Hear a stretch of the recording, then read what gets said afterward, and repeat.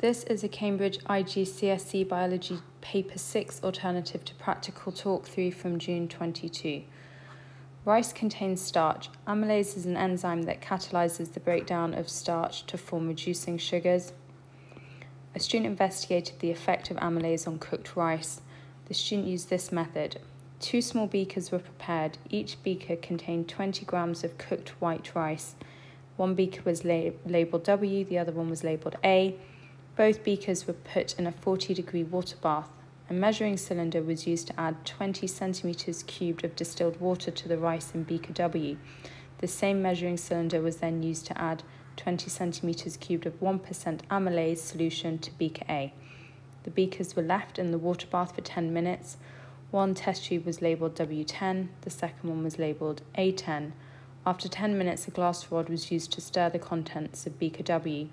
A clean pipette was used to remove 2 centimetres cubed of the liquid surrounding the rice in beaker W. The 2 centimetres cubed of liquid was put in test tube W10. Steps 7 and 8 were repeated with beaker A and test tube A10. A syringe was used to add 2 centimetres cubed of Benedict's solution to each of the test tubes. Test tubes W10 and A10 were put in an 80 degree water bath for 5 minutes. After 5 minutes, the colours of the contents of test tubes W10 and A10 were observed. Okay, please don't stress. These bio papers are always like this. They completely overload you with method. But look, the main things to take away from this is that amylase breaks down starch into glucose or reducing sugars, as they've named it here. Now, just remember the colour changes for me. The Benedict's reagent is used to test for reducing sugars. So if there are reducing sugars, you'd expect to see a brick red orange colour. If there aren't reducing sugars, then you'd expect it to stay blue. And so W10, it says it stayed blue, which means that there's no reducing sugars. Why is that? Because they only added water, there was no amylase added whereas A10 started blue and became orange, which means we do have reducing sugars due to the presence of that amylase breaking down that starch into reducing sugars. Prepare a table to record the results shown in figure 1.1. Doesn't matter which way around you do this table, I'm going to lay it out like this. Colour before, colour after. So they both started out blue, W10 stayed blue, A10 went to orange. Now we're being asked to state a conclusion for the results shown in figure 1.1. We know that amylase, I've already written this, breaks down the starch in rice to produce reducing sugars. as seen in A10. State two variables that were kept constant. It already told us that they kept the temperature the same. What else do we need to keep the same? Well, anything relating to the rice, so the type of rice, the mass of rice. You could have also talked about the sample size, the volume of Benedict's solution used, the time spent in the water bath, State the purpose of adding distilled water to the beaker of cooked rice labelled W. When you're adding this distilled water as opposed to something like amylase, it's because you need a control experiment. It was important that step three was carried out before step four. Predict the effect on the results if step four was carried out before step three. Well, if you reverse these steps, you'd have amylase in beaker W, so then you'd have that starch in the rice in beaker W being broken down into reducing sugars, so you'd see an orange colour there also. So W10 would also turn orange with Benedict's. Make sure you say what you'd see in those results. The temperature of the 40 degree water bath was not maintained and decreased during the investigation. State one piece of equipment that could be used to maintain the temperature at 40 degrees. You want to use a thermostatically controlled water bath. State how you could show that the cooked rice contains starch. So you need the reagent iodine because remember, iodine turns blue-black in the presence of starch.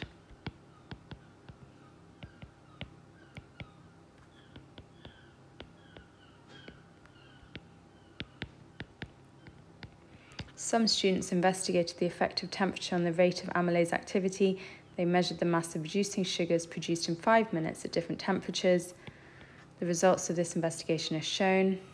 Describe the effect of temperature on the activity of amylase shown in the graph in figure 1.2 and it's worth two marks. So we can see that as the temperature increases to 35 degrees, we see an increase in the mass of reducing sugars produced, and then above 35 degrees, we see a decrease in the mass produced.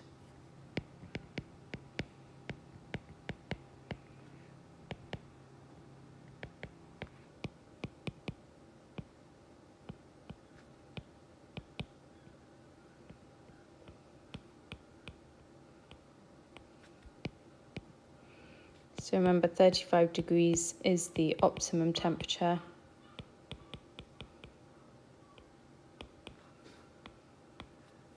And then above 35 degrees C, there is a decrease in enzyme activity as seen by reduction in the reducing sugar mass made. Use the graph to estimate the rate of amylase activity in milligrams per minute at temperature 42 degrees. So measure, use your graph line to read the mass, which is 30 milligrams. But notice that was made in five minutes. They want a rate in terms of per minute, so do 30 divided by 5 to get an answer of 6 milligrams per minute. The students wanted to obtain a more accurate value for the temperature at which the amylase works best, suggests further investigative work that the students could carry out. If you want a more accurate value, you just need to carry out more experiments. So test at a smaller interval of temperatures.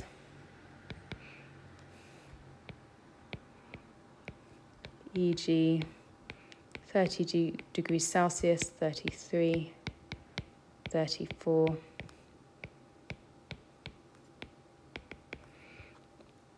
Plan an investigation to determine the effect of pH on the activity of amylase. So we need to specify lots of variables. So we start with our independent variable.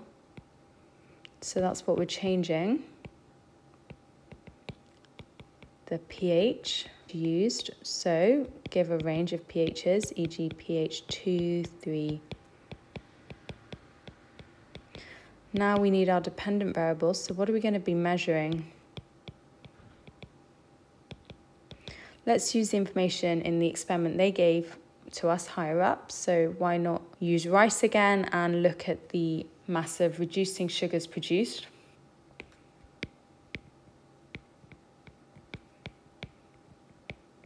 Because obviously the higher the mass of reducing sugars, the more optimal the pH. What about our control variables? So what sorts of things do we need to keep the same to maintain a fair test where you want the temperature to be the same? Mass of rice. Or you could say starch source. They're really flexible here. Type of rice volume of amylase solution. You could also say concentration of amylase solution. Let's repeat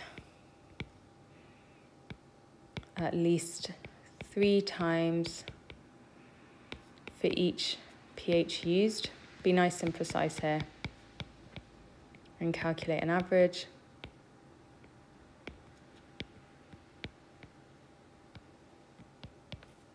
They haven't mentioned anything to do with their own safety arrangements, so why not point out use safety goggles and take care when using the hot water bath, which you're going to be using to maintain that temperature.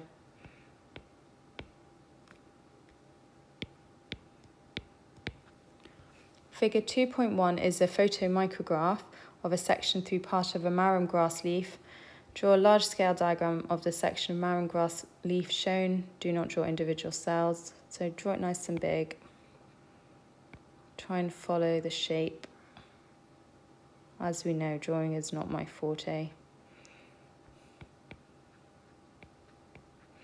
Make sure to include some of those vascular bundles.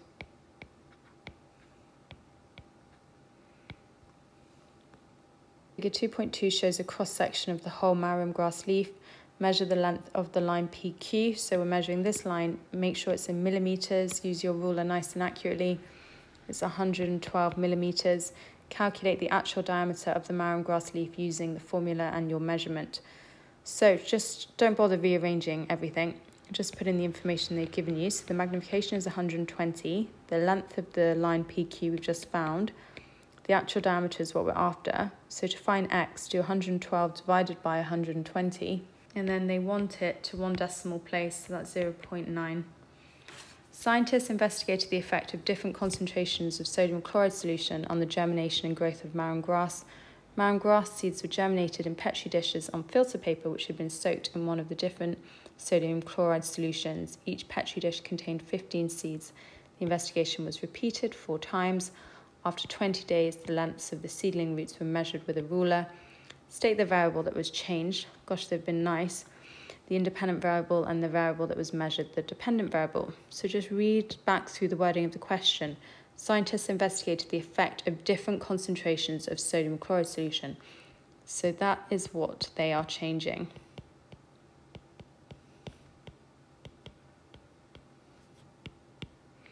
What are they measuring? Well, they're measuring the length of the roots, they've said. State two ways the scientists designed the investigation to produce valid and reliable results. Reliability is all about repeating. They said that they repeated it four times. And it also says they used a large number of seeds, and that will increase the validity.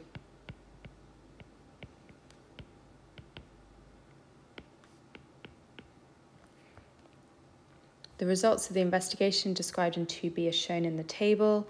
Using the information in table 2.1, calculate the percentage decrease in the average root length when the concentration of sodium chloride was changed from 4 grams to 6 grams.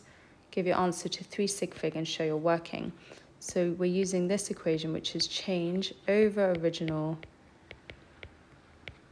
times by 100. So what is that decrease? Well, it's the difference between those two numbers 6. The original length was 19. Multiply that by 100. So that's 31.578, but we want our answer to 3 sig figs, so it's 31.6. Plot a line graph on the grid of the data. So let's start by drawing our y-axis. Try and get that a bit closer to that line. X-axis Remember that your independent variables, so what you change, always goes on the x-axis and what you're measuring, the dependent variable always goes on the y. I'm just going to steal those labels. And I recommend you do exactly what I'm doing. Just write it out because by doing that you'll include the units which are very important.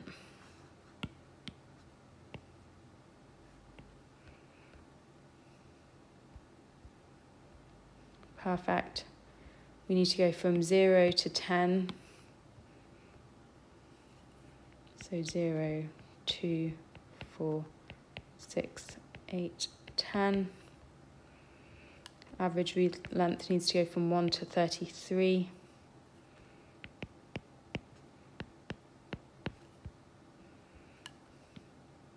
I have to rub these out, otherwise it won't let me steal the numbers. Okay, now I can get plotting.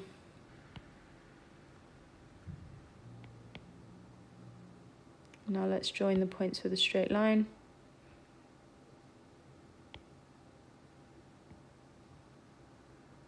And that's me done.